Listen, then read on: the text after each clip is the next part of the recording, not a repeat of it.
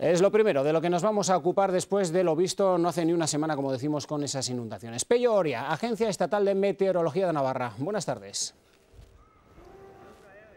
Hola, ¿qué tal? Buenas tardes. ¿Qué tenemos que esperar de esa borrasca Elsa en Navarra? ¿Es como para preocuparse?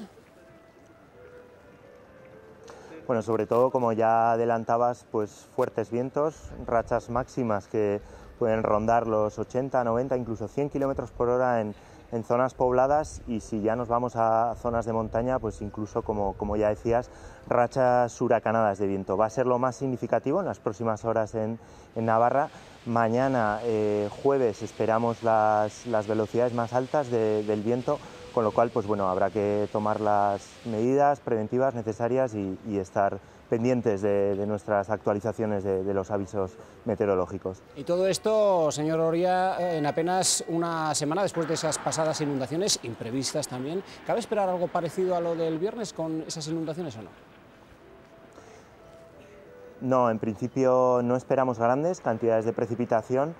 El próximo viernes, eh, sobre todo de madrugada y por la mañana, sí que lloverá, lloverá en gran parte de la comunidad foral Seguirá lloviendo también durante el fin de semana, pero eh, en principio descartamos cualquier posibilidad de que haya avenidas nuevamente en, los ríos de, del norte de Navarra. Y por último, ¿le llama la atención este tipo de episodios? ¿Es normal, tan consecutivos o son extraordinarios? ¿Están cambiando los patrones del tiempo? Bueno, pues eh, a nivel global sí, están cambiando los patrones meteorológicos, pero necesitamos hacer un estudio más de cerca y ver cuáles pueden ser los efectos y, la, y las consecuencias aquí en, Navarra. Sí que venimos eh, viendo ¿no? a lo largo de, los últimos años que bueno, estas eh, inundaciones, estas precipitaciones tan, tan intensas, tan persistentes y generalizadas, pues bueno, empiezan a ser más recurrentes en, en zonas de nuestra comunidad.